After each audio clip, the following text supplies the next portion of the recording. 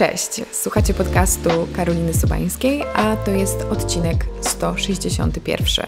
W tym programie poruszamy tematy związane z dobrym życiem i celebracją codzienności. Jak wszyscy mogliśmy zauważyć, lato dobiegło końca i zrobiło się trochę chłodno, dlatego z pomocą przychodzi jak co sezon medycyna chińska, a raczej powinnam powiedzieć TCM, czyli tradycyjna medycyna chińska.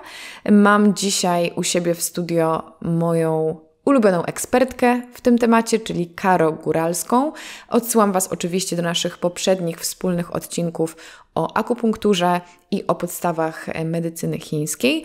Natomiast my dzisiaj skupimy się na jesieni, na tym, jak zatroszczyć się o nasz organizm, o nasze zdrowie po lecie, czyli po tym czasie hulanek, późnych kolacji, e, winka e, i innych rozpust, e, po to, aby jak najlepiej przygotować się na sezon zimowy. Dlaczego warto i z czego należy się oczyszczać, tego dowiemy się wspólnie z tej, mam nadzieję, ciekawej dla Was rozmowy.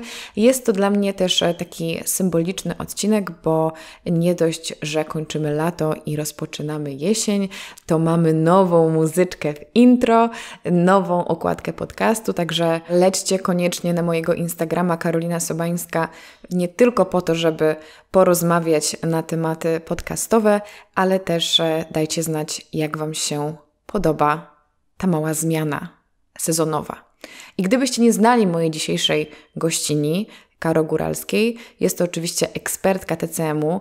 Karo jest e, terapeutką tradycyjnej medycyny chińskiej, jest akupunkturzystką i świetną specjalistką naturopatii. Także zapraszam Was bardzo serdecznie do wysłuchania tej rozmowy.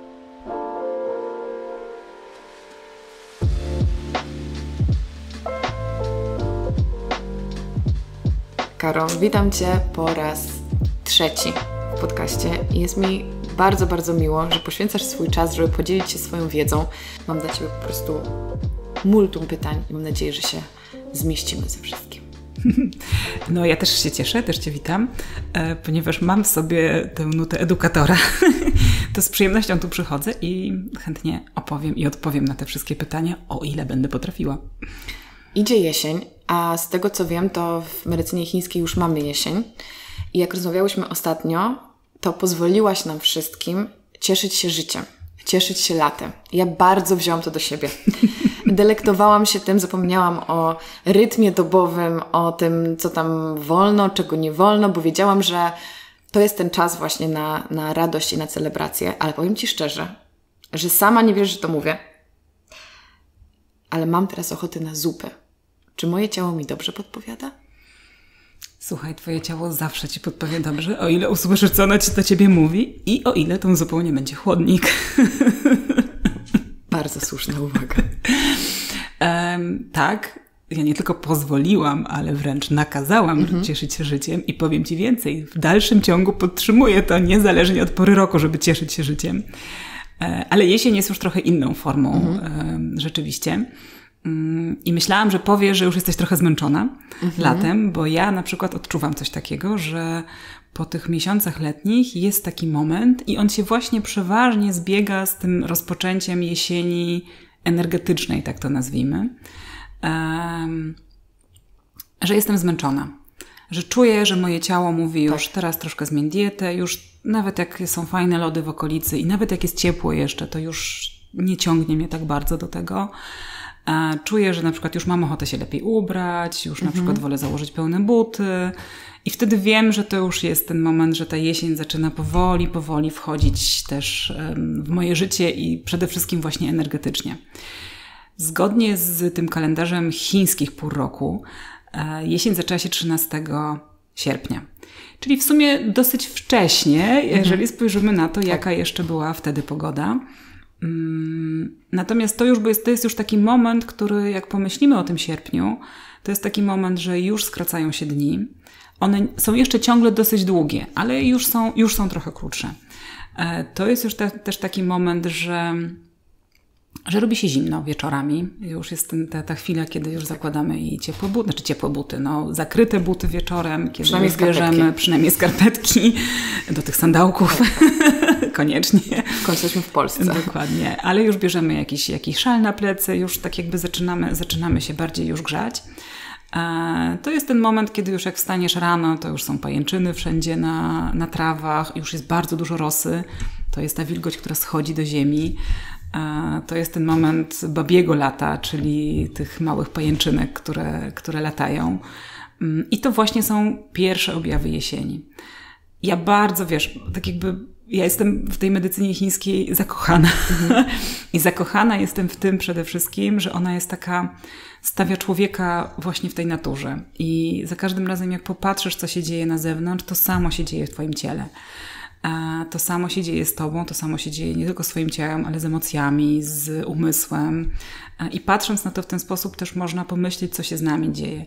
Jesień to jest czas, kiedy, kiedy te wszystkie soki schodzą do środka, kiedy zaczynają liście być kolorowe, no bo odchodzi od nich to nawilżenie w postaci soków e, z, zaczerpniętych z ziemi, które na wiosnę idą do góry. E, to jest to, kiedy wszystko spada, kiedy pojawia się pewna suchość. Suchość traw, suchość, e, suchość właśnie liści, suchość u nas na skórze też, bo to jest ten moment, kiedy u nas dzieje się dokładnie to samo, czyli zaczynamy schodzić do in, zaczynamy powoli tak jakby osadzać się do środka, żeby przygotować się do zimy, który jest czasem takiej już zupełnej hibernacji. No i do tego trzeba się po prostu dostosować. Powiedziałaś o zmęczeniu i to jest bardzo ciekawe. Skłoniło mnie do takiej mikrorefleksji, że rzeczywiście może nie tyle, że czuję zmęczenie, ale mam potrzebę zmiany. Nie chce mi się planować wieczornych żadnych wyjść czy kolacji. Mam ochotę właśnie na cieplejsze rzeczy i na takie większe wyciszenie, nawet na spędzanie czasu w pojedynkę. Już nie mam tego, tej ciągłej potrzeby, żeby wychodzić, żeby iść mhm. popracować z kawiarni, tylko no może by zostać w domu. I to jest takie przyjemne utulenie przez jesień i tak jak towarzyszy temu taka lekka nostalgia, to jakby po prostu bardzo ten czas lubię. Ale powiedz mi w takim razie, czy my sobie troszeczkę mogliśmy zaszkodzić tą hulanką letnią, czy to było ok, ale teraz trzeba o to ciało i umysł zadbać i jeśli tak, to jak? Jak to wyprostować? Słuchaj, no. Mm może zacznę od tego zmęczenia. Mhm. Ono też ma swoje uzasadnienie energetyczne i to będzie równocześnie odpowiedź na, twoje, na drugą część Twojego pytania. A mianowicie to lato było takim rozproszeniem, mhm. taką energią, która się rozprzestrzenia we wszystkie strony, która buzuje, która cały czas się pali. No i jest taki moment, że już masz dosyć, po prostu. I jest taki moment, że ta energia też już się zaczyna wypalać i naturalnym ruchem jest, że zaczyna schodzić do środka. I to jest to może powodować też u nas zmęczenie nie tylko na poziomie takim psychicznym, że już chcesz zostać w domu, już nie musisz tak dużo chodzić, ale też nasze ciało będzie odczuwało tą zmianę jako pewien, pewną formę, znaczy nie tą zmianę, będzie, będzie już zmęczone takim, taką rozprze rozprzestrzenianiem się energetycznym. W związku z tym ten ruch schodzący do yin, czyli do, do środka, e, będzie naturalny, ale też będzie powodował, że trochę będziemy zmęczeni, no bo to jest tak jakby no jesteś wysoko, a mhm. potem zaczynasz schodzić, więc to jest, to jest tak jakby zupełnie naturalne, że po lecie przychodzi taki moment znużenia. Jeżeli nie zadbamy o ten moment, to to są właśnie jesienne handry. To są te mm. wszystkie doły, depresje, smutki i, i złe humory. One oczywiście często są odpowiedzią na aurę zewnętrzną, ale ale też jakby ten nasz środek w ten sposób potrafi zareagować. Natomiast jeśli chodzi o zaszkodzenie letnią hulanką, tak, oczywiście, bo rozmawiałyśmy, rozmawiałyśmy na początku lata o tym, żeby, żeby cieszyć się życiem, a rozmawiałyśmy o tym, żeby jeść wszystko, na co mamy ochotę, ale rozmawiałyśmy też o tym, żeby dbać o yang. Mhm. O tym, żeby jeść jednak też ciepłe posiłki, żeby jeść gotowane posiłki, żeby jeść grillowane warzywa bądź mięso, um, żeby dbać o ten środek i dbać o ogień trawienny. No i o ile e, faktycznie ta dieta była zrównoważona, e, no to. To pewnie sobie nie zaszkodziłaś. Natomiast jeżeli wzięłaś sobie tylko jedną część mojej rady do serca, ty bądź ktoś inny, mhm. no to rzeczywiście może być tak, że trochę się tam zimna zebrało. Trochę się zebrało zimna, trochę się zebrało wilgoci, no bo jednak lody, piwo, szpricer, szprycerki, mm. arbuzy, surowe owoce, no, których latem jemy dużo, na pewno znacznie więcej niż w ciągu całego roku i które latem są potrzebne, żeby nas schłodzić, one gdzieś tam jednak e, zostawiają swój ślad, nazwijmy to termiczny e, w naszym organizmie. I tak rzeczywiście warto jest e, nad tym popracować, żeby, żeby być po prostu zdrowym na jesieni i zimą, bo to jest ten moment, kiedy mówimy, o, zacznie się sezon grypowy, zaczną się znowu kaszle, zatoki różne inne historie. A te kaszle, zatoki, katary na jesieni to jest nic innego, tylko ten powiem tak zupełnie kolokwialnie, glut, który zebraliśmy latem, e, jedząc co drugi dzień lody. To co możemy zrobić, żeby się tego gluta pozbyć? Ale jeszcze wtrącę taką mikroobserwację, że trochę, tak jak rozmawiałyśmy przed nagraniem, to jest taka samospełniająca się przepowiednia, gdzie my już wiemy, że my będziemy na jesień przeziębieni. Albo że my w marcu będziemy przeziębieni. Już się na, po prostu programujemy się, że na pewno nas złapie, wszyscy smarkają, kichają, my też. To też osłabia nasz organizm, prawda? No wiesz, no to jest, to jest mental, nie? I ja też o tym, o tej części programowania i samoprogramowania też bardzo dużo mówię e, i też z tym pracuję, bo ja uważam, że to jest połowa sukcesu, jak nawet więcej niż połowa mhm. sukcesu, to jest pozytywne nastawienie, e, to jest e, tak jakby zaprogramowanie się pozytywnie, czyli mówienie sobie, dzień na dzień dzisiejszy, że ja będę zdrowa na jesieni, jestem odporna, będę zdrowa, jestem zdrowa. Nie mam gluta.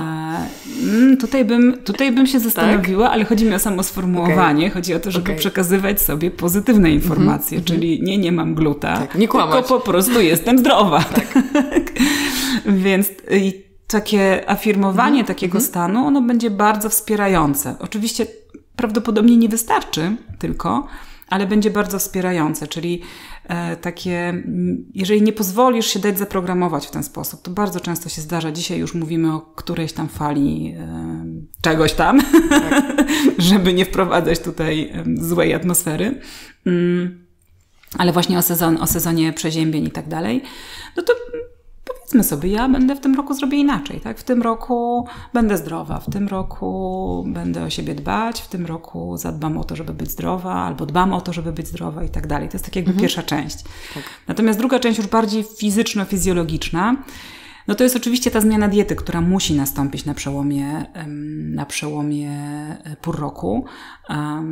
I ona akurat na jesieni i na wiosnę fajnie, jeżeli jest powiązana z procesem oczyszczania. Czyli jest tak jakby ta zmiana diety fajnie jest, jeżeli jest poprzedzona procesem oczyszczania.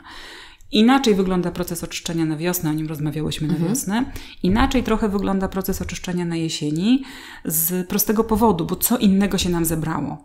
Okay. Teraz po sezonie letnim, czyli właśnie po tych wszystkich chłodnych, dozimnych napojach e, i e, produktach spożywczych, po surowiźnie, bo też po kąpielach w zimnej wodzie, mm -hmm. po chodzeniu na boso, um, zebraliśmy trochę zimna, takiego wewnętrznego zimna, które gdzieś tam wniknęło, tak? Takie wiesz, skoki do Bałtyku czy skoki do jeziora o poranku.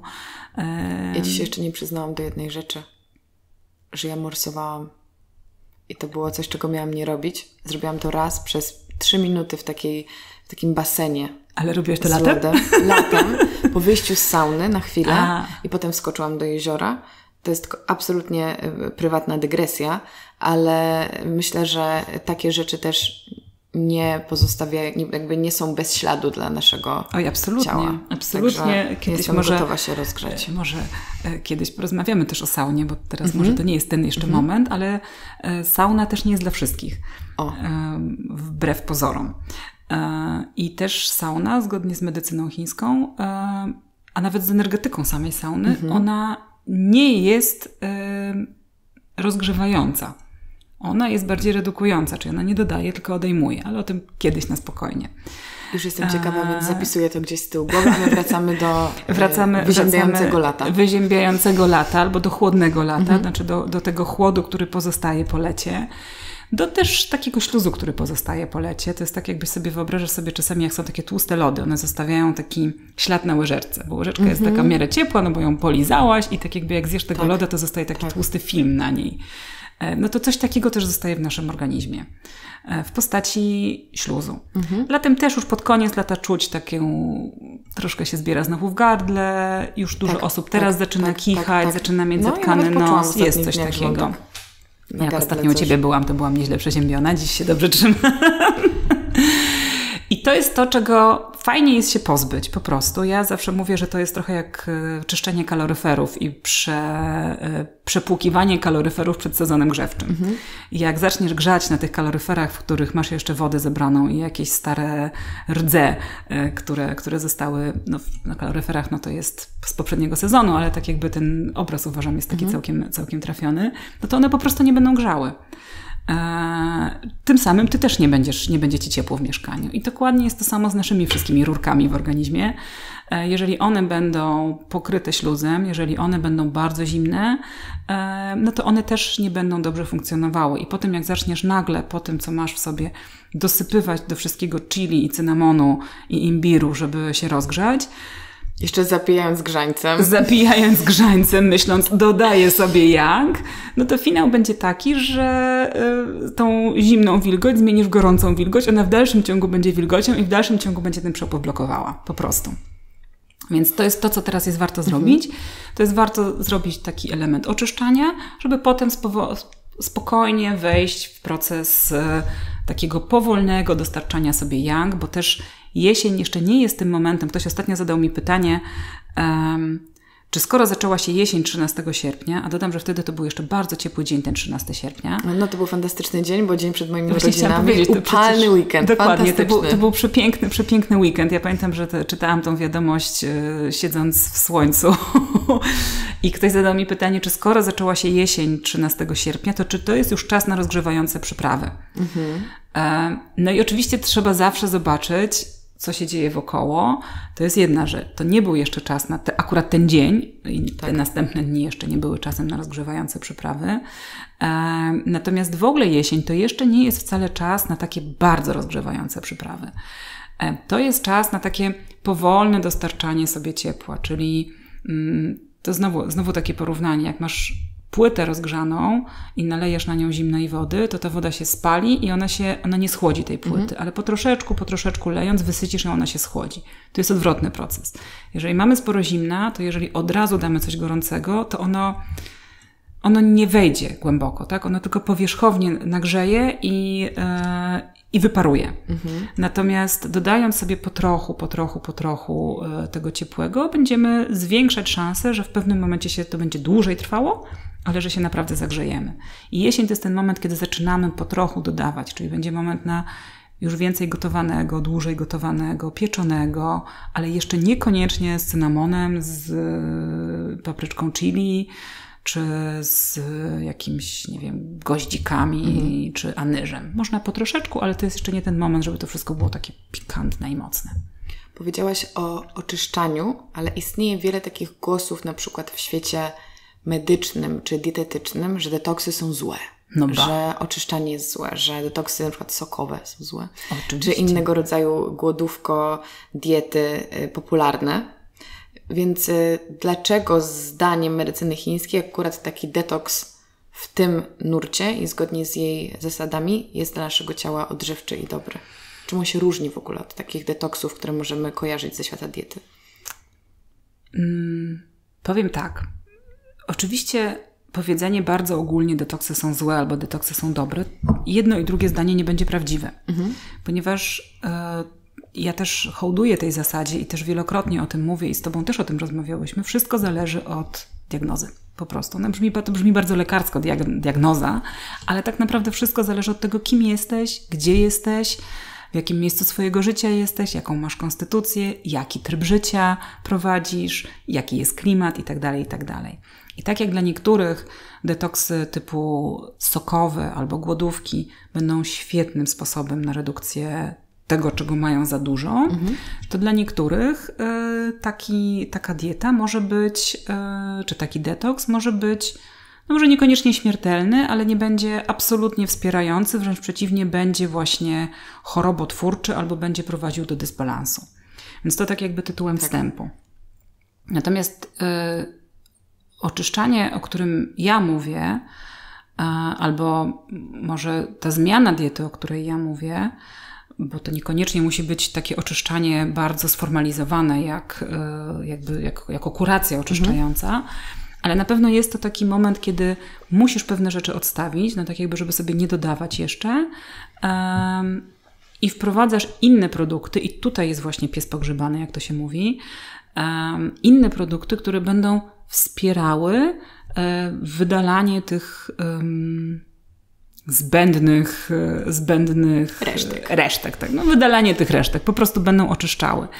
I te produkty, one są dostosowane do pory roku, ponieważ medycyna chińska, dietetyka chińska kwalifikuje produkty według ich działania, według ich termiki, według ich smaku. W związku z tym to będą produkty, które będą dostosowane do pory roku.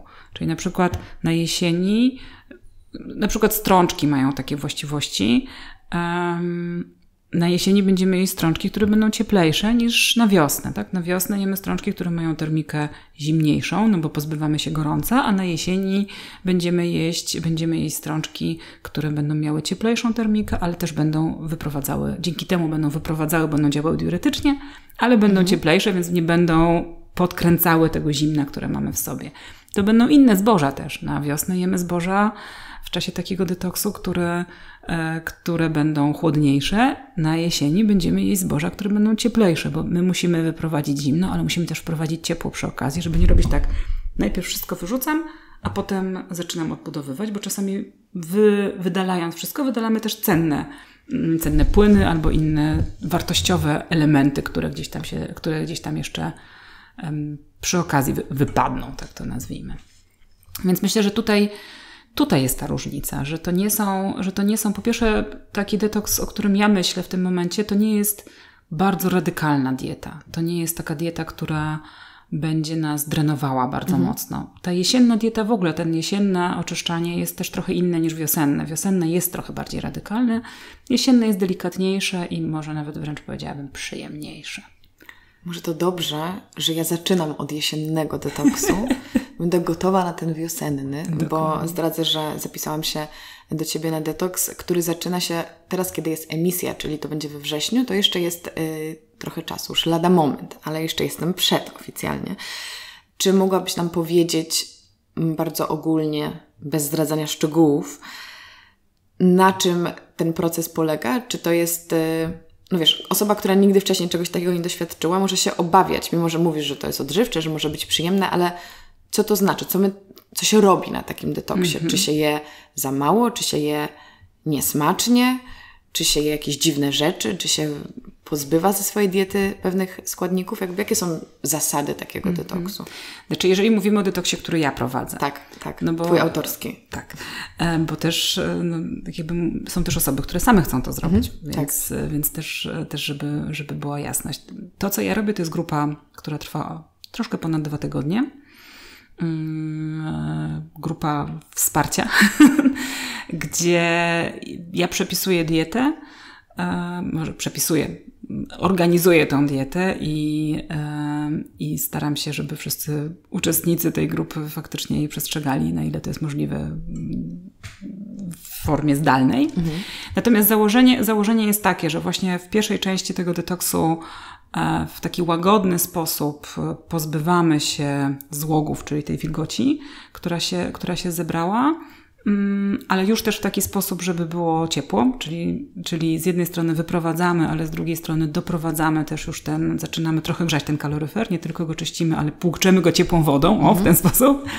Mm, a potem w drugiej części zaczynamy już wprowadzać produkty odżywcze, produkty budujące, ale właśnie dostosowane do, do jesieni, czyli produkty, po pierwsze te, które na jesieni są, czyli to będzie dynia, to będą bataty, to będą, e, to będą też już ziemniaczki. Buraki. Będą buraki, no wszystkie mhm. bulwy, mhm. tak, które mhm. na jesieni, które na jesieni się, których na jesieni się, które się wydobywa i na jesieni są aktualne najbardziej. Um, I tak powoli będziemy właśnie wprowadzać po troszeczku, po troszeczku to yang. E, będziemy się opierać przede wszystkim na gotowanym jedzeniu, e, na ciepłym jedzeniu. E, zrezygnujemy z owoców, zrezygnujemy z lodów, zrezygnujemy z zimnych napojów, tak żeby ten znowu trochę ten system trawienny tak dopalić, żeby mhm. on ruszył porządnie już w takiej właśnie fazie na ciepłych obrotach. A po takim oczyszczaniu, jakie możemy odczuwać efekty na sobie? I psychicznie, i fizycznie. Po oczyszczaniu? Tak. Um, to, co wiem z doświadczenia i do czemu to służy, no to pierwsza rzecz, no to jest oczywiście nie do końca będziesz wiedziała, bo kiedyś ktoś się mnie spytał, skąd ja wiem, że ten śluz się uwolnił. Oczywiście, jeżeli ktoś ma zgromadzone bardzo dużo śluzu, to będzie to obserwował. Nie chcę tutaj wchodzić w takie bardzo fizjologiczne szczegóły, ale ponieważ jest to dieta, która prowadzi do wydalania tego śluzu, no to można się domyślić, że e, którędy ten śluz się będzie wydalał, tak? W każdym razie, więc jeżeli faktycznie jest tego śluzu dużo zgromadzone, no to, no to czasami nawet widać, że on, że, on, że on wychodzi. Natomiast ten śluz, on ma jedną um, wadę, że on bardzo często podnosi się do góry i tak jakby zamracza nasze, e, nasze e, narządy zmysłów. Mhm. E, co powoduje, że często jesteśmy troszkę ospali. To jest tak, jak najesz się dużo buły.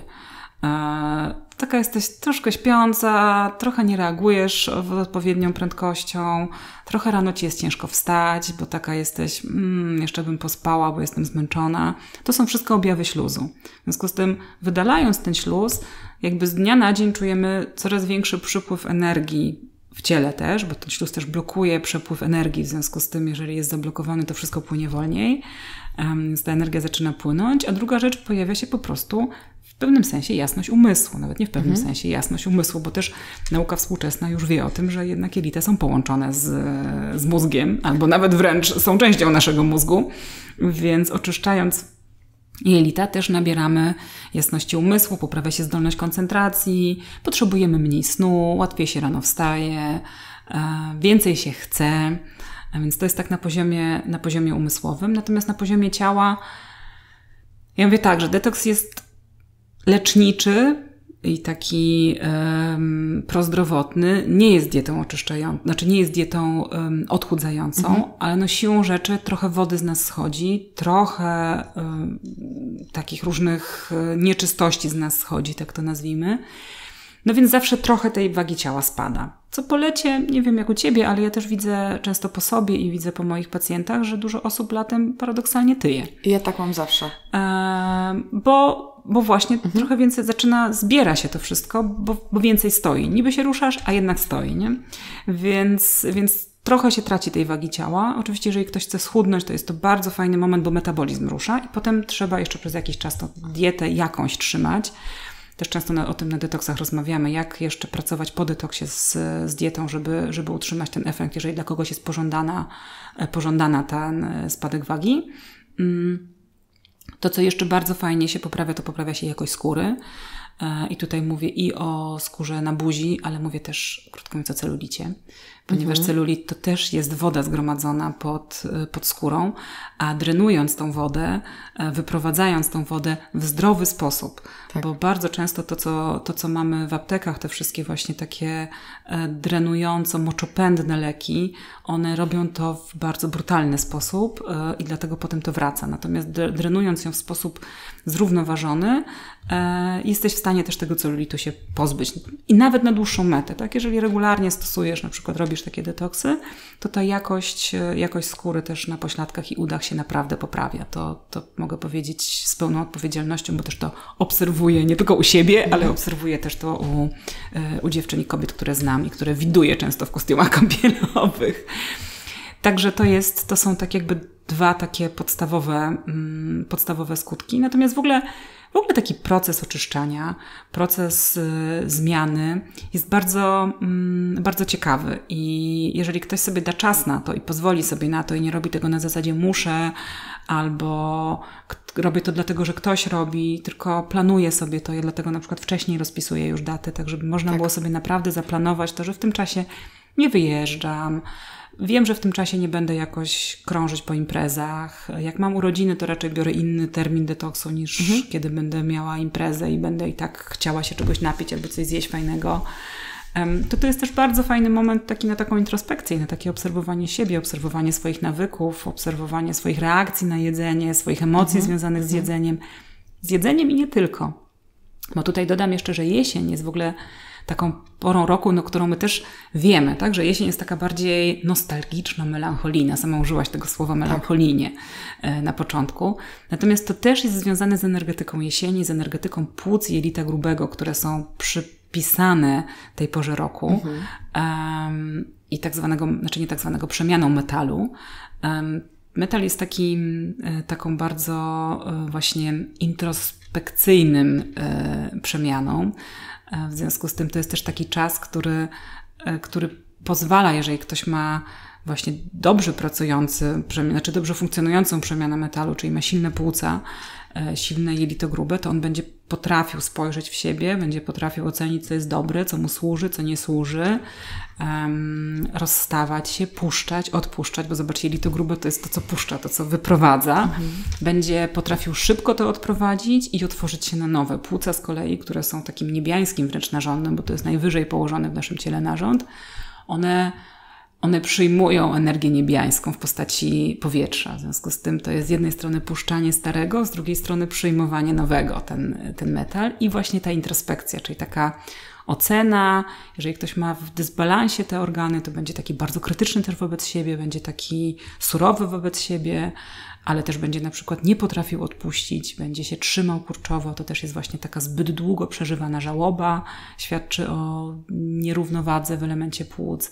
Więc, więc ten jesienny detoks jest też fajnym takim momentem, żeby popatrzeć na siebie i on będzie bardziej sprzyjał do takiej introspekcji niż wiosenny detoks, kiedy energia idzie do góry, kiedy się mhm. oczyszczasz po to, żeby ruszyć dalej, tak? Więc, więc tam w tych wiosennych grupach nie ma aż takich y, wglądów, tak to nazwijmy, natomiast w tych jesiennych rzeczywiście jest taki moment, żeby się zatrzymać. Bardzo pięknie to opowiedziałaś i ja naprawdę nie mogę się doczekać, ale też e, wiem, że na pewno będzie wiele osób, które potraktują naszą rozmowę jako takie zasianie ziarna, ale może jeszcze nie teraz, tak? Może spróbują detoksu w przyszłości. Niemniej te zmiany do naszego jadłospisu i do naszych codziennych rytuałów warto wprowadzić jesienią tak czy siak, czy się oczyszczamy, czy się nie oczyszczamy. Więc co, zakładam, że też czerpiąc oczywiście z tego, co wprowadzimy w trakcie oczyszczania, co powinno z nami zostać na te najbliższe miesiące, jeśli chodzi o takie praktyki właśnie na talerzu, czy też w, codziennym, w codziennej rutynie. No, to już jest ten moment, i nie tylko ten moment, w którym rozmawiamy, ale ten moment, w którym e, będzie emisja tego odcinka, tak. Mm, to jest już ten moment, kiedy już naprawdę można odstawić lody. Wszak dobrze, że ja nie lubię lody. Lody, tak jak o niewielu rzeczach się mówi, że jest samo zło, bo medycyna chińska raczej mówi pytanie dla kogo, no to lody to jest tak, raczej samo tak, zło. Ale to jakieś takie super polskie zło, bo mam wrażenie, że u nas jest tyle lodziarni, zawsze jest kolejka po 10 osób, że chyba jesteśmy nacją, która uwielbia lody, obserwując ulice Warszawy. No może tak być, tak. może rzeczywiście tak być, e, więc lody, lody są słabe po prostu, mhm. bo one są i tłuste, i słodkie, I, i jeszcze zimne do tego wszystkiego, więc wszystko, co po prostu naprawdę głęboko wnika w kanały, i tam, gdzie nie powinno. I ciężko się też tego pozbyć, tak? W związku z tym, y, oczywiście no latem A szarlotka lody... z lodami na ciepło, to już tak trochę lepiej. Czy to nadal lody? Ale tylko posypane cynamonem, imbirem i z goździkami. Żartuję. Um, szarlotka będzie fajnym ciastem, niekoniecznie z tymi lodami. Tak, nie? dobrze. E, natomiast, natomiast na pewno to jest ten moment, żeby, żeby już odstawić lody. To jest ten moment, żeby już odstawić napoje, wszystkie zimne napoje, mhm. czyli nawet piwo, nawet piwo, piwo, ale wszystkie oranżady, lemoniady, napoje z lodem i tak dalej. Już, już naprawdę się wysyciliśmy tym. Um, Niekoniecznie zielona herbata. Okay. E, będzie wychładza, takim, tak? Ona jest bardzo, bardzo wychładzająca, więc ona też będzie takim napojem, który już można odstawić. E, bo też latem chętnie ją pijemy, bo ona właśnie ona jest chłodna i czuć ten efekt wychładzający. Mhm. To już też nie jest moment na picie mięty na przykład, albo okay. rumianku, które są wychładzające. Mm. mm lepiej... Najlepsi przyjaciele. Nie w tym e, sezonie. Lepiej jest teraz już, jeżeli chodzi o picie, wprowadzić sobie na przykład koper włoski, jeżeli ktoś mm. musi pić zioła. No bo ja jestem zwolenniczką picia gorącej wody i, tak. E, I to właściwie jest najlepszy, najlepszy napój. Natomiast jeżeli ta gorąca woda jest taka nie do końca, no to już można sobie wprowadzić właśnie koper włoski, można pić pączki róży, można pić skórkę mandarynki, można pić... Um, Imbir. Można pić nawet wodę z imbirem. Oczywiście ja zawsze mówię, no, te wszystkie, wszystko co pijemy, nawet ta róża taka delikatna i ta mandarynka, one wszystkie mają swoją energetykę, oddziałują na organy konkretne. W związku z tym też trzeba, e, trzeba dbać o to, żeby nie pić przez cały czas ziół, bo to jest tak jakbyś cały czas brała panadol albo jeszcze coś innego, albo węgiel, albo tak. jeszcze coś innego. W związku z tym od czasu do czasu. Te, które ja podaję, to są takie w miarę bezpieczne, to znaczy takie, które nie będzie jakichś szczególnych przeciwwskazań, jeżeli ktoś sobie od czasu do czasu to wypije. E, ale już na przykład picie, nie wiem, wody z cynamonem, tak jak niektórzy robią, już nie będzie dla wszystkich, tak? Okay. Bo to jest już ostre i to już na przykład dla osób, które mają gorąco w sobie już będzie pewnie za mocne. Więc też pilnujmy, żeby nie przesadzać z tym, ale na pewno to jest, wiesz, jeżeli ktoś pije kawę, to jest fajny moment na jesieni, żeby zacząć pić kawę z przyprawami. Mhm. Już sobie zacząć gotować tą kawę. Z jakimi przyprawami? Wiesz co, no to zależy jak, jak lubisz, ale można z goździkiem, można z anyżem, można właśnie z kardamonem, taka naj, najprostsza mhm. gotowana kawa z kardamonem też bez przesady. Też patrz, trzeba zobaczyć, jak to na ciebie działa, bo na przykład osoby, które mają kłopoty z wrzodami, reflux tej, e, albo z gagę um, tej kawy gotowanej, w ogóle kawy nie powinny pić, ale na pewno ta kawa gotowana będzie im to podrażniała, więc to też zawsze sprawdzajmy. Więc to jeżeli chodzi o Napoje. Jeżeli chodzi o napoje, to już jest taki moment, żeby już też zredukować surowiznę. Mhm. A, to znaczy już nie sałatka grecka i do tego ryba, ryba, ryba z grilla, e, tylko już wprowadzamy kaszę, wprowadzamy zboża. To już jest moment, kiedy można wprowadzić bardziej oleiste nasiona i orzechy to też jest ten sezon, tak? Mhm. To już są pestki słonecznika, już słoneczniki już są wyłuskane, e, dynia już jest e, wyłuskana, e, jest też orzechy włoskie za chwilę będą, więc to jest ten sezon, żeby Aha. to już zacząć, zacząć wprowadzać sobie do diety. No, no, no, ja zawsze mówię, to jest czas, żeby wrócić do zup, to jest czas, żeby wrócić do kompotów, już tak regularnie, już pitych na ciepło, bo latem te kompoty były pite na chłodne bardziej, teraz już te kompoty można pić na ciepło, ponieważ to jest czas suchości, też takiej ciele, znaczy suchości w ciele. My mówimy, zaczął się sezon grzewczy, to jestem sucha. Mhm. Ale to jest suchość naturalna, która jest tak jakby jesienią, ta rosa, która schodzi na dół do ziemi, to jest to samo, co u nas schodzi też, nie? Więc, więc to, jest, to jest też to jest czas, żeby się trochę, żeby się trochę nawilżać. I to będą super kompoty. Takim typowym jesiennym kompotem też e, bardzo sezonowym jest kompot z gruszek po prostu. Mhm. On będzie też nawilżał, on będzie nawilżał płuca, które są narażone też na suchość jesienną. E, więc na przykład kompot z gruszek, w ogóle suszone owoce też już można wprowadzić. To jest też czas na wprowadzanie już y, takich dłużej gotowanych, mm, gotowanych potraw, czyli takich już może nie jeszcze tak długo jak zimą, ale już takich właśnie, to jest to nasze leczo, które jemy, ono jest takie jesienne, ono już jest też takie trochę podgotowane, ono nie jest tylko przerzucone przez patelnię, żeby wszystko było chrupkie, mhm tylko już takie podgotowane. Więc to jest już czas właśnie na takie warzywne, czy nawet warzywno-mięsne e, potrawy dłużej gotowane. Tutaj się fajnie sprawdzają na jesieni już garnki żeliwne, w których to się wszystko ładnie, ładnie, e, ładnie samo ze sobą e, łączy.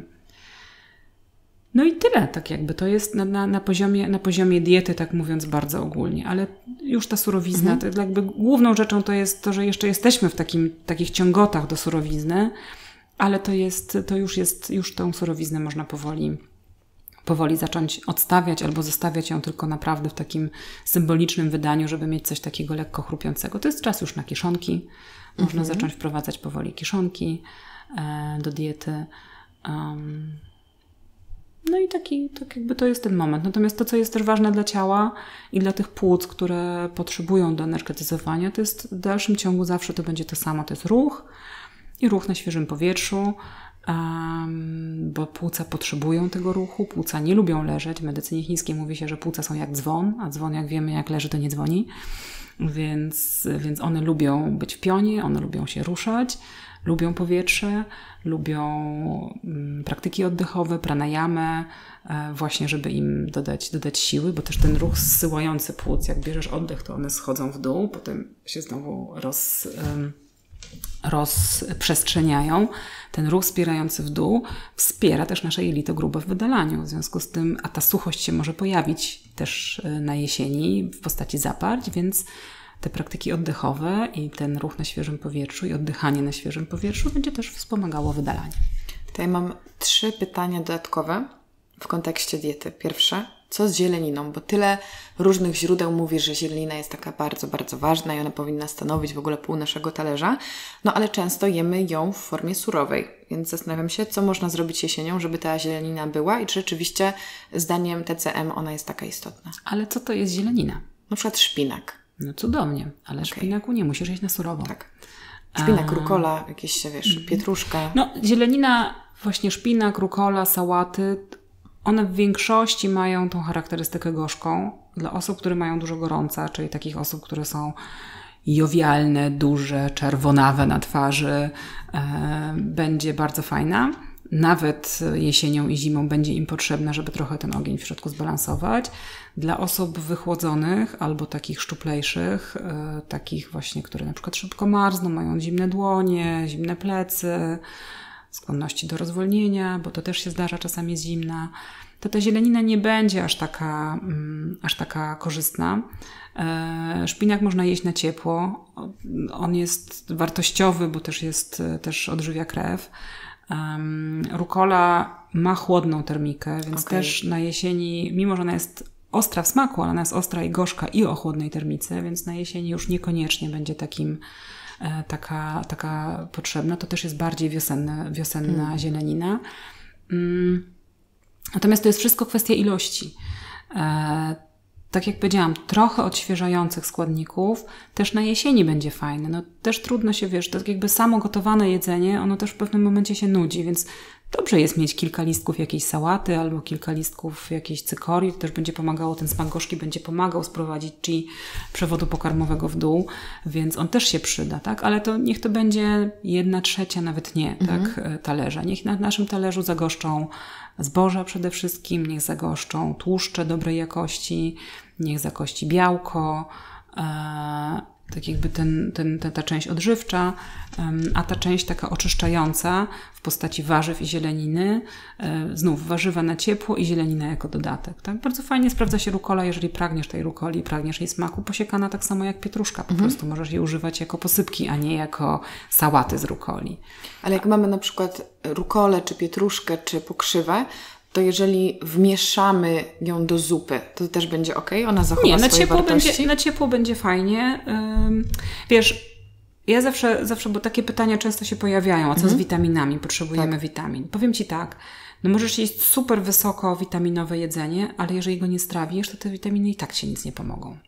W związku z tym, dlatego, dlatego w tej szkole środka w medycynie chińskiej mówi się, że przede wszystkim dba się o system trawienny, dba się o ten nasz środek, ponieważ jeżeli to nie będzie funkcjonowało, to co z tego, że masz anemię, zjesz steka i wydawałoby się, że odżywisz się totalnie, jak tego steka nie strawisz, po prostu. On ci będzie zalegał w żołądku, czyli będzie zabierał ci energię, a nie dodawał energii.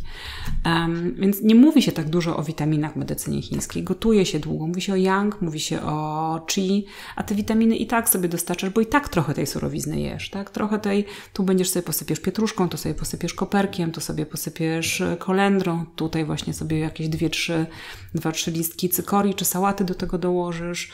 Um, więc to się będzie pojawiało. Na pewno wmieszane do zupy ono nie będzie, nie będzie, nie zmieni swojej właściwości, swoich właściwości schłodzących na termicznie ciepłe, ale już nie będzie takie agresywne i aż takie zimne, jeżeli rzeczywiście na przykład wmieszasz to w zupę, mhm. tak?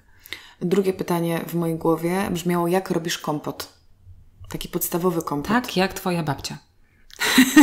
Bo ja zrobiłam po raz pierwszy kompot w swoim życiu przedwczoraj i zrobiłam go z moreli, ponieważ miałam bardzo dużo moreli i zalałam je po prostu wodą z kardemonem, goździkami i cynamonem i gotowałam troszeczkę na małym ogniu. Wspaniale. I sobie to piłam. Powiem Ci, że to był balsam no dla mojego tak. ciała i czułam się prawie jak po wypiciu bulionu. Dokładnie. No kompot, kompot tutaj nie ma jakiś, wiesz, to nie jest e, rocket science, jak to się mówi, tak. zrobienie kompotu. Ale zalewasz przykład wrzątkiem i zostawiasz, czy zawsze trzeba pogotować? I nie, lepiej, no, pogotować. Za, i lepiej nie, zalać zimną czy, czy gorącą Tutaj bym nie robiła, ja jestem zwolenniczką tam, gdzie jest to konieczne, no to oczywiście trzeba się trzymać zasad. Tak. To zawsze jak jesteś chora, jak robisz danie lecznicze, to o tym rozmawiałyśmy też już kiedyś, jak robisz danie lecznicze, to trzeba się trzymać pewnych zasad. No i zioła zalewa się przeważnie zimną wodą. Natomiast też nie wszystkie, no, są zioła, które, znaczy może inaczej, zioła, które się gotuje, zalewa Tak, się tak, tak, zimną tak. wodą. E, natomiast przy kompocie ja bym tutaj nie robiła jakiegoś, jakiejś wielkiej różnicy. Zalewasz zimną wodą, możesz dodać przyprawy, można dodać plasterek imbiru, mm, ponieważ owoce same w sobie są, e, mają tą termikę taką bardziej chłodną. Te akurat nasze, z naszej szerokości geograficznej, no nie, nie, nie wszystkie są zimne, ale są bardziej chłodne. Mm, Też nie wszystkie, ale już tak, tak żeby nie, nie wchodzić bardzo w detal, e, no to dobrze jest dodać coś ciepłego do tego, czyli albo właśnie goździk, albo troszkę laski cynamonu, kawałek laski cynamonu, albo plasterek imbiru. Na taki codzienny kom- kompot będzie ok. Ja jestem zwolenniczką, jak wiesz, nie za dużo. E, czyli może być tak naprawdę jeden owoc z, jednym, z jedną przyprawą. Tak. E, jak dasz wszystko naraz, to potem masz takie wrażenie, że wszystko ci smakuje tak samo. A jak będziesz sobie dawkować, nie wiem, śliwki będziesz robiła z kardamonem, a jabłka z cynamonem, a gruszki z goździkami, to będziesz miała tak jakby e, trochę, trochę inną nutę smakową w tym wszystkim i nie znudzi, się to, nie znudzi się- ci się to tak szybko. Ja nie dodaję cukru do kompotu, bo uważam, że to nie jest konieczne. tak. Ale są osoby, które potrzebują tego cukru i lubią, no to ja znowu zawsze mówię, żeby to był cukier muskowado, bo on jest ciepły i odżywia też krew. Więc na przykład dla kobiet, jak już koniecznie, koniecznie cukier, bo też nie zawsze trzeba go odstawiać, tak? To, to, też, to też dbajmy o to, żeby to był cukier dobrej jakości. Em, I tutaj szczególnie polecam, tak jak mówię, cukier muskowado. On jest W ogóle nie słyszałam nigdy. to jest taki bardzo brązowy cukier z nieoczyszczonego, nieoczyszczony z melasy trzcinowej. On ma taki troszkę karmelowy posmak, on jest tak jakby wypalany trochę bardziej. E, No i on ma właśnie termikę ciepłą i odżywia krew. Więc na przykład e, Brzmi super. na przykład po menstruacji, kiedy tej krwi wytraci, wytraci, wytraciłyśmy e, trochę i jest takie zmęczenie często po menstruacji, kogiel mogiel na żółteczku z cukrem muskowado będzie daniem leczniczym. Tak mówiąc o żółteczku, to moje trzecie pytanie dietetyczne brzmiało, co z tłuszczem? Czy jesienią potrzebujemy go więcej i z jakich źródeł jest najbardziej odżywczy? Albo z jakich, jakiego unikać? Wiesz, no, tłuszcz jest tłuszcz, yy, węglowodany i białka, no to są trzy podstawowe elementy naszej diety i one powinny się znaleźć na naszym talerzu i w zależności znowu od tego, kim jesteś, jaką masz budowę ciała, no to też będzie inaczej ten, ten talerz wyglądał, będą inaczej je- jego proporcje będą wyglądały. Tłuszcz ma tą zaletę, no, że jest nośnikiem smaku, więc ten tłuszcz yy, po prostu lubimy po prostu lubimy. Natomiast on też będzie powodował, że będzie nam po prostu cieplej, tak? Więc, więc jak zaczynają się te zimne dni, to siłą rzeczy więcej tego tłuszczu używamy. I znów tłuszcz, tak, ale dobrej jakości tłuszcz, czyli e, oliwa z oliwek z pierwszego tłoczenia, tłoczone na zimno. Nie oszczędzajmy na tłuszczu, bo to też jest jedna z rzeczy, których często nadużywamy, więc jak już nadużywamy, to nadużywajmy czegoś naprawdę dobrego. Em, więc to może być oliwa z oliwek, to może być olej sezamowy, to może być masło, to może być masło ghee. Fajnie jest, jak, jak, jak zmieniamy. To też, jest, to, też, to też dobrze jest o tym pamiętać, żeby nie przykleić się do jednego składnika, tylko zmieniać. Jednego dnia taki tłuszcz, drugiego dnia taki. Jednego olej z awokado, drugiego dnia z pestek dyni, trzeciego dnia oliwa z oliwek, czwartego z sezamu i na zmianę. Bo wtedy też dostarczasz sobie wszystkich tych cudowności, które każdy z tych składników niesie regularnie. Tak samo jak ze zbożami. Nie codziennie kasza jaglana czy jaglanka, e, czy owsianka, tylko też różne. E, Wtedy masz gwarancję, że ta dieta jest naprawdę no, zróżnicowana siłą rzeczy, ale też zbilansowana. Karo, słuchaj, mamy całą masę pytań Damy radę, dajesz. od, e, od naszych obserwatorów. Sporo było w ogóle o to, czy medycyna chińska może pomóc na różne schorzenia, ale myślę, że to możemy zostawić na, na później, bo myślę, że fajnie byłoby pociągnąć ten temat gotowania. I, I jedno, które się pojawiło, które mi się bardzo podobało, bo ja lubię sobie tak upraszczać i generalizować rzeczy, może, może dlatego mam taki podcast. Czy są jakieś uniwersalne zasady gotowania? e, zgodne z medycyną chińską. Takie po prostu małe wskazówki, które wprowadzając na co dzień mogą mieć super efekt e, na naszym zdrowiu i, i Ty polecasz. Tak, polecam gotować z radością. To może być trudniejsze niż nam się wydaje. Dokładnie. Polecam gotować z radością, z dobrą intencją, cieszyć się tym, nie truć, nie zatruwać się w czasie gotowania złymi myślami, złymi rozmowami, tak samo jak podczas jedzenia coś pięknego sobie śpiewać, włączyć sobie fajną muzykę, albo pośpiewać mantry, albo mm. pomodlić się, zależy kto w, jakiej, w jakim duchu e, chce, chce przebywać i bądź co praktykuje. Tak. E, ale rzeczywiście dobrą energię do tego garnka wkładać też swoją i gwarantuję Ci, że wtedy najmniej strawne jedzenie będzie strawne. E, to jest tak jakby pierwsze, oczywiście to jest bardziej światopoglądowe i tak. filozoficzne, natomiast Zasady. No, te zasady, jeżeli chodzi o samogotowanie, przede wszystkim jakość składników to jest podstawa. E, jest ogromna różnica. Ja jestem, ja mam taki, taki, taki sposób, że jeżeli czegoś nie trzeba, to mówię ok.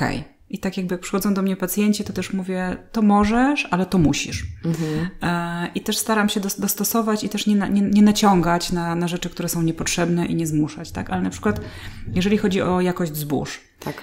Ogromna różnica jest między zbożem gotowanym, zbożem kupionym w supermarkecie, a zbożem hodowanym ekologicznie. Po prostu. Znaczy, w supermarkecie mam na myśli przemysłowo hodowane, tak. bo w supermarkecie też może być ekologiczne. Jak już raz posmakujesz i zobaczysz tą różnicę, to już nie wrócisz. Te z supermarketu są często spleśniałe, często są mm. traktowane produktami grzybobójczymi i potem to rzeczywiście czuć. Miałam kiedyś taką, taką rozmowę z pacjentką, która mówi, no tego amarantusa nie mogę, zbiera mi się na wymioty. Mm. Ja myślę sobie, no ja też za bardzo go nie lubię, ale nie, nie, jakby nie śmierdzi. On po prostu jest specyficzny w smaku. No i po jakimś czasie się okazało, jak u niej spróbowałam tego amarantusa, że ten amarantus po prostu był spleśniały. Tak jakby z defaultu był spleśniały okay. z torebki. Więc um, dobrej jakości zboża, e, dobrej jakości warzywa też, e, bo one też będą wszystko to, co będzie dobrej jakości w kontekście właśnie ekologiczne albo z takiego sprawdzonego źródła, które no niekoniecznie ma znaczek ekologiczny, ale wiemy, jak jest tak. hodowane ono będzie miało więcej energii, tak? Ono, będzie, ono już nas będzie odżywiało. Więc na to bym naprawdę zwracała uwagę. I ja też uważam, że dobrze jest to, co też rozmawiałyśmy, nie łączyć, jeżeli chodzi już o trawienie samo, nie łączyć zbyt dużej ilości składników, tylko prostota w tym, tak. na tym talerzu będzie bardzo, bardzo wskazana. Czyli różnorodność, ale nie na jednym talerzu. Tak, różnorodność, w, tak jakby w diecie, patrząc per saldo w ciągu tygodnia, ale niekoniecznie ta różnorodność musi być aż taka ogromna na talerzu. Niech to będzie zboże, niech to będzie jakieś białko, warzywo, może jakaś kiszonka, która będzie wspomagała trawienie. Yy, I to wystarczy, tak? Tego nie musi być nie musi być tego aż tak dużo. To na pewno pomoże mhm. w trawieniu. Natomiast jeśli chodzi o gotowanie, zastanawiam się jeszcze, co tak um, jakość składników. Oczywiście niemrożone składniki też będą, też będą ważne. O tym jest jedno z pytań. Czyli czy, świeże. Czy absolutnie mrożenie jest złe i mamy tego nie robić? Powiedz nam. Bo jeżeli nam zakażesz, to, to przestaniemy mrozić. Eee, wiesz co? To znaczy tak, przemysłowo mrożone są na pewno złe. I okay. tutaj po prostu uważam, żeby nie kupować przemysłowo mrożonych yy, składników, bo one są mrożone w bardzo niskiej temperaturze. Tak. No i zabijasz wszystko. I potem znowu, nam się pozornie, to, to chi, o którym rozmawiamy cały czas, czyli ta energia, ona jest bardzo subtelna. Mhm. Ona jest z jednej strony bardzo subtelna, z drugiej bardzo namacalna, bo, bo wszystko wokół nas jest chi, tak? Ale to chi, którego my potrzebujemy, on jest bardzo subtelny. I nam się oczywiście wydaje, że jak tą marchewkę, która była zamrożona, pogotuje, to ona już będzie ciepła i będzie ok. Ale jak masz super przewód pokarmowy i będziesz jadła mrożoną marchewkę, to nie poczujesz różnicy. Natomiast nie mamy super przewodu pokarmowego. 80-90% osób, które do mnie przychodzi, mają kłopoty z trawieniem, mają wzdęcia, mają rozwolnienia, mają zaparcia, mają odbijanie, y, całą gamę różnych trawiennych, y, trawiennych y, objawów. Nie będą im służyły mrożone, właśnie te głęboko mrożone, bo będą zużywały to słabe już chi, czyli tą słabą energię przewodu pokarmowego, będą zużywały na strawienie i w związku z tym to jedzenie znowu nie będzie im dostarczało, tylko będzie zabierało. Więc mrożone przemysłowo absolutnie nie. Mrożonki na co dzień, jeżeli chodzi, bo my często mamy taką tendencję, że robimy coś i mrozimy. Mhm. Ja powiem tak, jak pojedziesz na wieś i kupisz pół cielaka, e, no to nie zjesz go naraz. To sobie go zamroź i zjedz w ciągu kilku tygodni czy miesięcy. Nawet chciałabym bardziej tygodni. Natomiast mrożenie sobie zup na zapas i potem masz takie tygodnie, że tylko jesz mrożoną zupę, też bym, też bym tego nie robiła. Ja raczej na przykład uważam, że lepiej zawykować, czyli czy w, nawet zamknąć w słoiku na gorąco taką zupę, którą ugotowałeś za dużo i za tydzień ją zjeść, e, niż, niż zamrozić.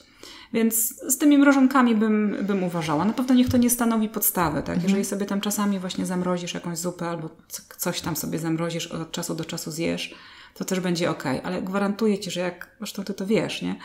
Że jak zaczniesz gotować, to zobaczysz, że to odmrażane jedzenie naprawdę nie jest smaczne po prostu. To tak jakby czujesz, ja zawsze mówię, że to jest tak jakby szmatę jadła. ja mam takie wrażenie. Więc, więc, więc, więc raczej nie. nie. Raczej nie. Czy masz jakiś e, fajny przepis na, po raz kolejny słowo, uniwersalne śniadanie, które będzie odżywcze? I wiadomo, że nie wszystko sprawdzi się wszystkim, ale czy jest jakieś takie fajne danie, które raczej nam podejdzie z rana? Raczej nam, no wiesz, to zależy od tego, czym się kto najada. Mhm. Jedne osoby najadają się węglowodanami i będą super szczęśliwe po owsiance. I na przykład owsianka gotowana, ja gotuję wszystko w dosyć prosty sposób, więc e, owsianka gotowana na wodzie, ale naprawdę gotowana, więc nie tylko zalana wrzątkiem i podgrzana, tylko pogotowana przez jakiś czas, żeby te płatki się ładnie, no zależy jakie masz płatki, ale, ale żeby się tak naprawdę wygotowały. I do tego na przykład jabłka pieczone w piekarniku z odrobiną cynamonu i orzechy i łyżka masła. No, marzenie. Poezja. Poezja.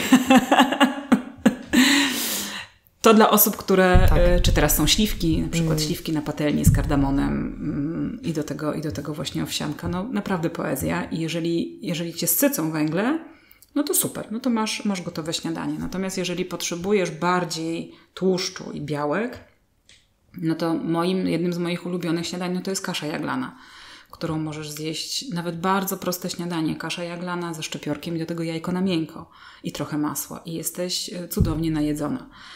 Oczywiście cudownym śniadaniem jest congee, mhm. e, czyli nasz słynny klej ryżowy, który można zjeść e, też bardzo prosto. Znowu można, jeżeli ktoś potrzebuje, to może zjeść z jajkiem na miękko, z odrobiną oleju sezamowego i ze szczepiorkiem, no i troszkę sosu sojowego. I masz ciepłe, pożywne śniadanie, w którym jest i zboże, i tłuszcz, i białko. W związku z tym ono Ci starczy do spokojnie do lunchu będziesz najedzona. A czy congee przygotowuje się w jakiś specjalny sposób, czy to po prostu jest długo gotowany ryż? Czy tam jeszcze jest jakiś dodatkowy, sekretny składnik? No nie. Sekretnym składnikiem jest właśnie ryż i woda. One można przygotowywać je na różne sposoby. Taki najprostszy to jest po prostu gotować ryż przez kilka godzin e, w mm, proporcjach 1 do 10. Mhm. Mm, można troszkę posolić. Można też zrobić to tak e, trochę jak risotto, czyli najpierw troszkę ten ryż zeszklić e, mhm. z tłuszczem jakimś i potem dopiero zalać wodą i też gotować. Ale tak naprawdę no tutaj tajemnicą jest, tajemnicą jest ryż, bądź zboże tak naprawdę, bo to może być każde inne zboże też. To nie musi być tylko ryż, to może być ryż w każdym kolorze, ale może być to też kasza jaglana, może to być kasza gryczana, może to być pszenica. Tak jakby to congee jest też daniem, e, daniem leczniczym, więc też w zależności od tego, na co ono ma działać, to na przykład pszenica, której unikamy, bardzo często będzie dla osób z bardzo wycieńczonym żołądkiem, które potrzebują schłodzenia, które potrzebują nawilżenia tego żołądka, na przykład w takich stanach silnych, zapalnych mhm. błony śluzowej żołądka, to paradoksalnie ta pszenica, której unikamy, w, w, ugotowana w formie congee, czyli 4 albo 6 godzin gotowana i właściwie to jest taka woda wtedy, ona będzie temu żołądkowi dobrze robiła. Powiedziałaś o chłodzeniu, bo było takie pytanie właśnie o dietę, która nas wychładza i która nas ogrzewa, czy któraś z nich jest z założenia lepsza lub gorsza? Czy, czy to jest tak, że potrzebujemy trochę tych wychładzających i trochę tych rozgrzewających rzeczy e, w swojej diecie? No już odpowiedziałaś sama na to pytanie pięknie. No, dziękuję bardzo. Następne. Słuchaj, zależy, zależy kim jesteś, zależy tak. jaka jest pora roku. E, natomiast zawsze jest potrzebne tak jakby standardowo, bo, bo znowu, jeżeli masz jakieś, jeżeli jesteś w dysbalansie, no to musisz najpierw się go pozbyć. Bo jeżeli będziesz e, w, tak jakby w ten dysbalans wprowadzisz balans, no to tak jakby będziesz utrzymywać stan dysbalansu. Tak. W związku z tym przy założeniu takim, że, ten, że jesteś w miarę wyrównana, no to ta dieta też powinna być w miarę wyrównana. Dlatego ja też mówię o, o, o orzeźwiających, chłodnych dodatkach. Um, i znowu latem pewnie będzie bardziej nam potrzebna dieta, która będzie chłodniejsza, jak na dworze jest 40 stopni, a jeszcze na przykład jesteś, nie wiem, gdzieś w Chinach, gdzie jeszcze ciągle jest 40 stopni i pada deszcz do tego, no to też będzie potrzebny inny rodzaj diety, bo tam będą potrzebne aromatyczne składniki, żeby tą wilgoć rozproszyć bardziej. E, u nas będą bardziej potrzebne przy 40 stopniach i względnej suchości jednak powietrza będą potrzebne bardziej odświeżające. No to jest ten arbuz przykład, który jest cudownie odświeżający i nawilżający i tak jakby też nawilżający płyny ciała. E, ale zimą tego arbuza już tak. nie będziemy jeść, bo on nie będzie tak bardzo potrzebny, więc Tutaj trzeba patrzeć, po pierwsze też patrzeć, kim jesteśmy, do czego mamy skłonność. Jeżeli marzniesz na co dzień i masz zimne ręce, zimne stopy, zimną pupę, zimny nos, to powiem tak, tak jakby z defaultu dieta wegańska w takim wydaniu wegańskim pod tytułem e, smoothie i sałatka z jarmużu absolutnie się nie sprawdzi u Ciebie. Trafiłaś w sedno, bo dokładnie miałam cie, Ciebie zapytać teraz o to, czy medycyna chińska może iść w parze z dietą roślinną. I proszę. Może iść w parze mhm. z dietą roślinną. Tak ale nie, jeżeli wchodzą stany patogeniczne, czyli chorobowe. Bo nawet kiedyś miałam taką pacjentkę, która do mnie dzwoniła i próbowała mnie wyczuć, czy ja jej każę jeść rosoły, bo mm. jak już mm. potem się zorientowałam, ona już była u kilku terapeutów, okay. a ponieważ była bardzo wychłodzoną osobą i wiedziała o tym, że jest wychłodzona, no to ci terapeuci jej zalecili jedzenie wywarów mięsnych. Mm -hmm. No i zadzwoniła do mnie i tak podpytywała, a czy pani tak, a czy... No i tak jakby się zorientowałam o co chodzi. Tak. I mówię, wie Pani, jeżeli Pani jest bardzo wychłodzona, to niech Pani nie oczekuje, że ja jako odpowiedzialny terapeuta e, nie zalecę Pani wywarów, tak. bo Pani te wywary zalecę. Więc, mm, więc ona może iść w parze z dietą roślinną, natomiast to musi być odpowiedzialna dieta roślinna, to musi być dieta roślinna opierająca się na gotowanych y, potrawach i na składnikach ciepłych termicznie.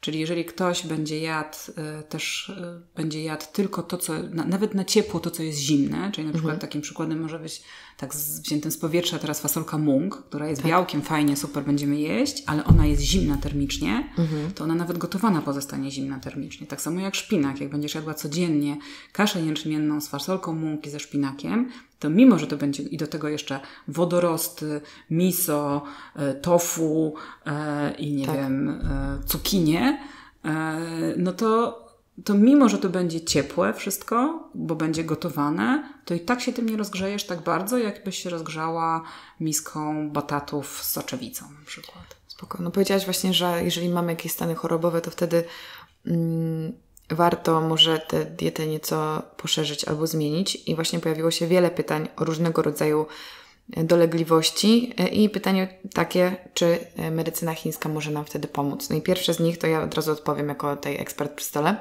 że w przypadku zaparć zdecydowanie tak, ponieważ jest to objaw problemów z trawieniem, więc e, wyszkoliłaś mnie. Ale dalej, mamy właśnie pytanie o na przykład o nerki. Mm, no, pytanie, co z tymi nerkami się dzieje? Mhm. Medycyna chińska, tak bardzo jak ją kocham, e, ona jest w stanie pomóc na bardzo, bardzo dużo schorzeń. Natomiast prawdopodobnie też nie na wszystkie. Mhm. Szczególnie, że jeszcze jest jedna rzecz, może nie tyle nie na wszystkie. W naszej szerokości geograficznej i przy takim dostępie do ziół i do dobrych terapeutów, jakie mamy, e, po prostu może nie starczyć wiedzy, Aczkolwiek myślę, że są terapeuci w Polsce, którzy mają ogromną wiedzę tak. i ogromne doświadczenie przede wszystkim, ale myślę, że też jest kwestia trochę problemu dostępu do ziół. Wiem, że w Chinach na przykład nowotwory też można leczyć przy pomocy ziół i niekoniecznie muszą to być operacje i niekoniecznie muszą to być naświetlania i chemia, ale to jest zupełnie inny, inne podejście do życia. To jest jedna rzecz, nie? ale inna, inna dostępność do mhm. tego. Moja przyjaciółka, która mieszka w Szanghaju, ona chodzi do terapeuty chińskiego ona idzie do niego raz w tygodniu, ma zabieg akupunkturowy, plus dostaje zioła, które jej przywożą do domu już ugotowane. I on po prostu, ona jeszcze nie, nie zdąży dojechać e, z, po zabiegu i ona już ma paczkę pod drzwiami okay. i te zioła są na okay. dwa tygodnie i ona je po prostu pije i tak. po dwóch tygodniach idzie jeszcze raz albo po tygodniu idzie jeszcze raz. On zmienia recepturę, bo sprawdza, co, co się tam wydarzyło. To u nas też jest możliwe. Tak. Tylko to są też często bardzo wysokie koszty po prostu, tak. bo te zioła Nie mamy też takiego droższe. sprawnego systemu. No też nie mamy u nas raczej te zioła musimy gotować sami, więc, ale to jest możliwe. Mhm. Natomiast wracając do, do tego głównego pytania. W zależności, od, y, w zależności od tego, co jest, co się, co się dzieje, w bardzo wielu y, tematach medycyna chińska na pewno może pomóc. Natomiast ja też uważam, że, nie, że, że należy korzystać z tego dobrodziejstwa, jakie daje medycyna zachodnia i jeżeli jest potrzebne badania na przykład, to te badania robić. Tak. Jeżeli jest, y, i tu mówię o badaniach profilaktycznych, znaczy to nie są profilaktyczne, diagnostyczne, tak. bo to jest i krew, i jakieś y, USG, i cytologię, i mamografię, i tą całą opowieść. Oczywiście nie przesadzać, y, ale, ale robić to. Mm, na pewno, jeżeli są potrzebne zabiegi ratujące życie, E, typu operacje naprawdę ratujące życie, to też nie wzdrygać się przed tym i nie mhm. mówić, e, nie mówić nie, teraz ja będę pił zioła i na pewno się uratuje. Więc tak jakby ten, to, to zdrowe podejście. Przy nerkach, no nie wiem jakie tam miałyby być te schorzenia nerkowe, o których tutaj mm, jest pytanie. Jeżeli na przykład chodzi o kamienie nerkowe, to jeżeli chodzi o zioła, ja sama mam dobre efekty w rozpuszczaniu kamieni, e, kamieni w nerkach, a wiem, że na przykład z punktu widzenia medycyny zachodniej nie jest to takie oczywiste. Mhm, mhm. E, pojawiło się też pytanie o tarczycę i e, dodatkowo też o stanowisko medycyny chińskiej względem terapii hormonalnej. Czy... Ale mówisz o terapii hormonalnej, czyli mówimy o antykoncepcji, czy... Wiesz co, w ogóle były oba pytania. Były w kontekście antykoncepcji, ale były też jakby przyjmowanie hormonów po to, żeby e, zrównoważyć jakieś stany chorobowe w przypadku tarczycy. Mm, wiesz co, no, mm, to są już bardzo, bardzo takie specyficzne mhm. pytania i bardzo takie, no, mm, no bardzo specyficzne, więc tak. ja może dosyć ogólnie na ten mhm. temat opowiem, no bo też nie wiemy o czym mówimy. E, pierwsza rzecz to jest antykoncepcja. Ona nie pozostaje, ona ma duży wpływ. To wiemy, tak? Mhm. Do mnie też przychodzą dziewczyny, które są, biorą antykoncepcję, biorą antykoncepcję z różnych powodów no te hormony nie pozostają bez wpływu na nerki, e, w związku z tym na nerki w kontekście medycyny chińskiej, czyli na to funkcjonowanie też całego systemu rozrodczego. E, I one tak jakby zaburzają też obraz, tak, diagnostyczny, bo ja nie wiem, na przykład to menstruacja jak wygląda, jak często jest, e, czy jest obfita tak, i tak dalej, i tak dalej to jest dla mnie bardzo ważna informacja mhm. diagnostyczna o stanie organów wewnętrznych i o stanie organizmu. Ja jej nie mam, jeżeli jest ktoś, kto bierze antykoncepcję. I ja nie uważam, że zawsze to jest konieczne, tak? Szczególnie, mm, szczególnie jeżeli antykoncepcja jest przepisywana dlatego, żeby uregulować coś, co się, mm, co e, co nie jest związane ze stricte antykoncepcją, tak, tak to nazwijmy. Tak, tak? tak Teraz tak. miałam niedawno pacjentkę, która miała bardzo bolesne menstruacje, które są objawem mm, zimna po prostu. Mhm. W związku z tym i dostała na to antykoncepcję, więc te menstruacje gdzieś tam się zeszły na drugi plan po prostu siłą rzeczy, e, ale to zimno zostało w kanałach, tak? Więc jak ona odstawi antykoncepcję za nie wiem, za rok, dwa czy trzy, bo będzie chciała zajść w ciążę, to będzie miała, może się zdarzyć, tak. że będzie miała problemy z zajściem w ciążę, bo, bo po prostu z tego zimna tam nie będzie chciało nic wykiełkować, mówiąc bardzo mhm. obrazowo. Więc, więc no tutaj zawsze trzeba się zastanowić nad tym, czy to naprawdę jest konieczne i dlaczego coś robimy.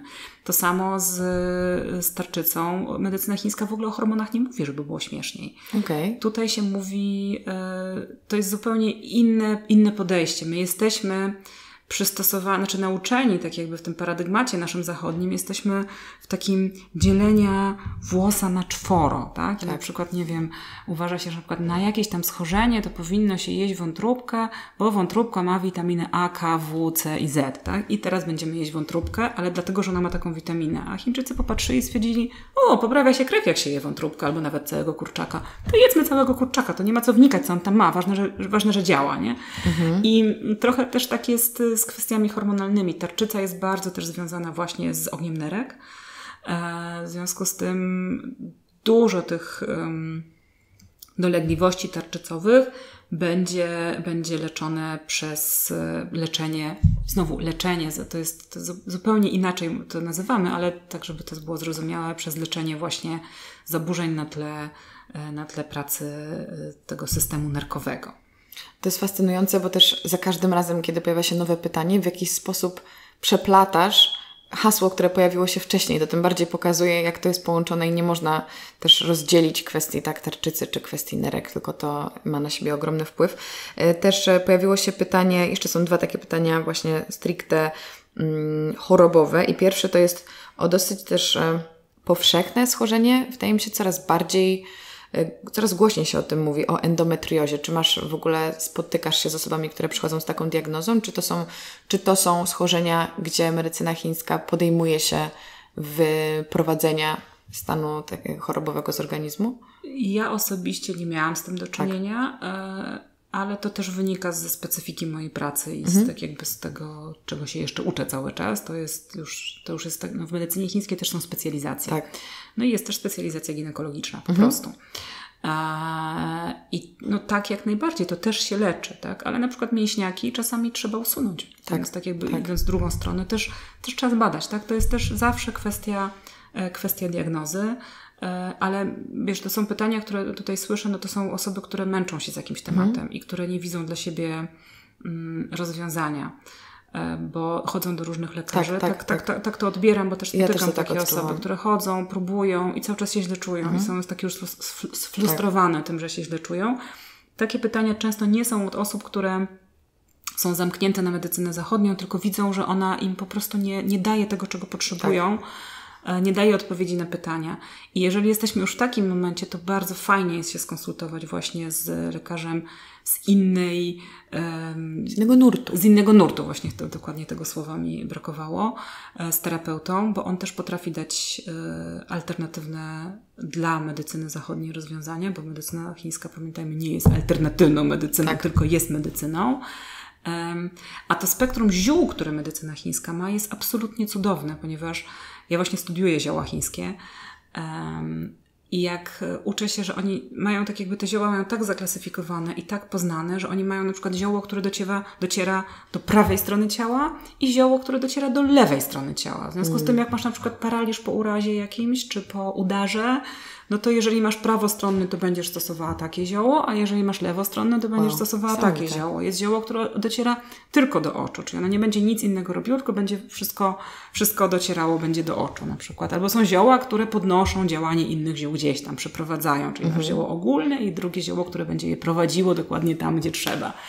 Więc tutaj jest bardzo duża ilość możliwości i znacznie mniejsze skutki uboczne dzięki temu tych ziół, o ile jest dobra diagnoza i dobrze są zastosowane tak. zioła, bo to już jest kwestia terapeuty, czy on to dobrze zrobi. Tak, tak, ale pamiętajmy właśnie, to jest super, co powiedziałeś, że to nie jest też wybieranie albo, albo. To jest ok korzystać z tak, dobrodziejstw medycyny zachodniej i komplementarnie zastosować się do jakichś e, wskazań, rekomendacji medycyny chińskiej. Nie musimy wybierać jednej strony lub drugiej strony. Czy zależy, kim jesteśmy i co potrzebujemy. Tak. Ale ja na przykład uważam jak najbardziej, żeby łączyć i myślę, że dzisiaj też właśnie przy tych dobrodziejstwach też medycyny zachodniej to terapeuci chińscy też korzystają z tego i, i łączą to. Ja też, jak przychodzą do mnie na przykład osoby, które są na lekach kardiologicznych, mhm. to mm, nie każę im tego odstawiać bo, bo wiem, to też zależy kto, ale dla niektórych osób to jest bardzo ważne, że biorą jakieś leki, bo czują tak. się wtedy bezpieczniej. Często jest tak, że zmieniają dietę, zaczynają brać zioła, widzą, że się czują lepiej, mają więcej odwagi, żeby zrezygnować z leków zachodnich i sami podejmują taką decyzję. Więc, więc tutaj też, to też jest zawsze to słuchanie też siebie i patrzenie na siebie, kim jestem, czego potrzebuję i na co jestem też gotowy. To ostatnia rzecz to pasożyty czy przerost bakterii w ciele. Czy medycyna chińska pomoże? Pasożyty i przerost bakterii. No zawsze to jest tak, że tak pomoże, znowu, bo trzeba z jednej strony zlikwidować najeźdźcę, ale z drugiej strony trzeba też y, zmienić środowisko, żeby on się więcej, tak. żeby się nie żywił. Tak? W związku z tym no, no, tak, jakby jak popatrzysz na, popatrzysz na przykład na grzyby albo na bakterie, no to trzeba zobaczyć w jakim one środowisku. To to jest tak jakbyś obserwowała naturę, zobaczyć w jakim one środowisku się dobrze czują, czyli na przykład grzyby lubią wilgotno, ciepło i tak zamknięto, duszno, nie? No to jeżeli cierpisz na przykład na grzybicy, no to wiadomo, że gdzieś tam w środku zebrałaś trochę wilgoci, jest trochę zastoju, to wszystko stoi i, i, i generuje tą, e, to tworzenie się grzybów. Tak? To samo jest z bakteriami czy pasożytami, więc jak najbardziej to są, są na to metody i no to, to przeważnie łączy się też ze zmianą diety i z prowadzeniem ziół. Tak. Podsumowując, e, medycyna chińska jest dobra na wszystko e, i ja już też e, nie przedłużam naszej rozmowy, bo wydaje mi się, że już bardzo długo mimo wszystko rozmawiamy, mm, a pies sam na spacer nie pójdzie, prawda? Jeszcze nie. Niemniej, niemniej na sam koniec krótkie pytanie. Skąd najlepiej czerpać też wiedzę o medycynie chińskiej, tak żeby móc ją wprowadzać na nasze czasy? Czy są jakieś fajne źródła, które polecasz? Wiesz co, no ja myślę, że tak, że na pewno tym pierwszym i najprostszym krokiem to jest dietetyka chińska, no bo medycyna to już jest, to już jest cała dziedzina, to już, no, to już są w pewnym sensie studia. U nas tak. jest już dużo szkół, gdzie można się tego uczyć, są też kursy, na jakich się tego można uczyć. Nie mówię o kursach weekendowych, takich, tylko już o takich naprawdę szkolnych kursach, mhm. które trwają na przykład rok, dwa albo trzy. Natomiast myślę, że taka podstawa i fajnie jest zacząć od dietetyki, bo to jest to, co możesz zrobić na co dzień i zmiany, które możesz wprowadzić na co dzień. Tutaj jest naprawdę sporo książek na ten temat, więc trochę trzeba po prostu sobie poszukać i zobaczyć, co pasuje. Ja większości osób polecam, jest taka książka Paula Pitchforda Odżywianie dla zdrowia, którą ja nazywam Biblią. E, bo to w pewnym sensie jest Biblia. Mhm. Ona ma chyba z 500 stron albo 600 i jest takiego, a cztery wydania, więc jest dosyć, wow. dosyć obszerna. Ale tam właściwie znajdziesz odpowiedź na wszystko. Problem jest taki, że jak nie znasz systemu, to ta odpowiedź niewiele ci da. Bo jeżeli nie, znowu, jeżeli nie potrafisz się zdiagnozować, Mm, no to nie zrozumiesz tego, co się dzieje i nie zastosujesz prawdziwe, prawidłowego remedium. Ale baza, baza tam jest, żeby już coś zrozumieć i takie podstawowe pojęcia. Natomiast myślę, że dietetyka, tak? Tych kursów dietetyki mhm. jest dużo. Jest też dużo takich warsztatów z dietetyki, które prowadzą różne osoby, które, które to studiowały. W związku z tym fajnie jest coś takiego zrobić. Ja też od czegoś takiego zaczynałam i to był dla mnie właśnie efekt wow. W ogóle zmiana zmiana diety e, już u mnie spowodowała wtedy ogromną różnicę i zobaczyłam, o jak to działa, to zobaczę, co jeszcze może z tego działać. Więc zaczęłabym od dietetyki mhm. przede wszystkim. To na pewno też e, udział w detoksie nauczy nas wielu nowych rzeczy, więc jak wszystkich chętnych zapraszamy i podlinkuję oczywiście namiary na Ciebie Bardzo i twoją, Twojego Facebooka, bo chyba tam jesteś najbardziej tak. aktywna. Tylko tam umiem. tak chińsko. W każdym razie my się następnym razem spotkamy, żeby pogadać o takich smaczkach, których jeszcze nie było, jak na przykład sauna czy morsowanie. Ja już pamiętam, mam nadzieję, że e, cały czas będziecie nas słuchać i że Ty, Karo, mnie też e, jeszcze nie nas odwiedzisz. A Tobie bardzo dziękuję. Ja się dzisiaj nauczyłam tyle, że jestem gotowa na jesień. No to super, cieszę się. Do usłyszenia. Do usłyszenia. Bardzo Wam dziękuję za wysłuchanie tej rozmowy. Jak zawsze przypomnę, że podcast e, ukazuje się w każdy poniedziałek o 7 rano. Możecie go posłuchać na Spotify, na iTunesie oraz na YouTubie, gdzie jest e, dostępny w wersji wideo. Jeżeli macie czas i ochotę. Będzie mi bardzo miło, jeżeli zostawicie podcastowi recenzję na iTunesie, dacie mu wybraną liczbę gwiazdek, napiszecie kilka słów opinii. To podcast wspiera i pomaga mu być promowanym i docierać do większej ilości osób. Na Spotify możecie podcast oczywiście zaobserwować, na YouTubie zasubskrybować mój kanał, dać łapkę w górę temu odcinkowi i napisać kilka słów komentarza. Jak zawsze możecie podcast też udostępniać, a jeśli macie ochotę dodatkowo wesprzeć moją działalność, to lećcie na karolinasubańska.com ukośnik sklep, gdzie dostępne są moje e-booki, produkty elektroniczne i dodam, że 10% zysków co miesiąc przekazuję innej fundacji i tym razem jest to we wrześniu Fundacja Ocalenie, która pomaga uchodźcom w Polsce. Także bardzo Wam dziękuję za wysłuchanie tego odcinka raz jeszcze i do usłyszenia za tydzień. Cześć!